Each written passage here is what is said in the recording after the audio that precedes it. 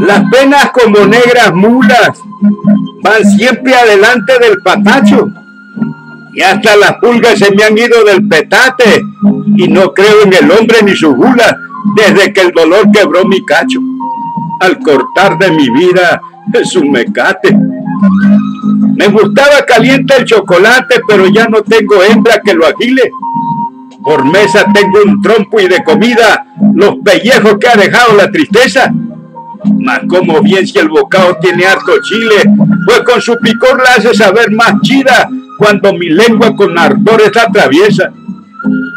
Hay cosas que parecen chucha, pero tienen de pena una fanega, pues cuando el amor los platos friega, son como piedras pesadas y filudas, que hasta el corazón le hacen arrugas, rompiendo del alma la talega. Siempre será más fácil la tarea si en los bolsones hace tin la brea, que sin ella, en el encuentro rudo, será más chucha hacer cantar a un mudo que a un ateo hacer que en Cristo crea. Por eso es bueno el simplón que no se ofiende, pues da y recibe sin perder el modo. Porque el buen churruja al fin entiende que en vez de tiene uno que jactarse lodo.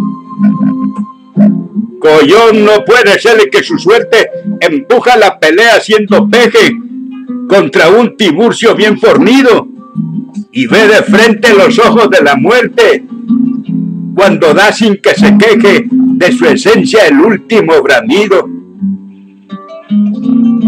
En la vida conocí la maravilla de un despertar durmiendo en una hamaca, acompañado de mi perro Tarabillo, y oyendo los mugidos de mi vaca, buscando a su ternero en el bajío.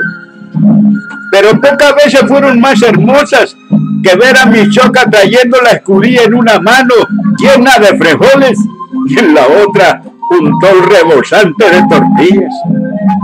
Todo eso lo perdí, no queda nada, porque una tarde el amo que tenía la casa me quemaba, estando adentro lo que más quería, y vi impotente como el fogón la chicharraba. De rabia hizo una cruz mi guarizama, mientras una voz por dentro me ajotaba, tomar venganza contra el rico cruel, que con saña de luzbel los sueños más dulces me chollaba.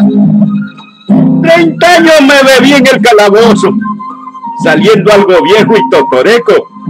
Solo me queda de mi hembra su rebozo y es mi cobija fiel cuando en la noche del viento crece el eco que se viene rodando por el río, trayéndome ladrar como reproche de mi perro taravío y de mi vaca el mugido inquieto que sigue buscando en el bajío a su torito prieto.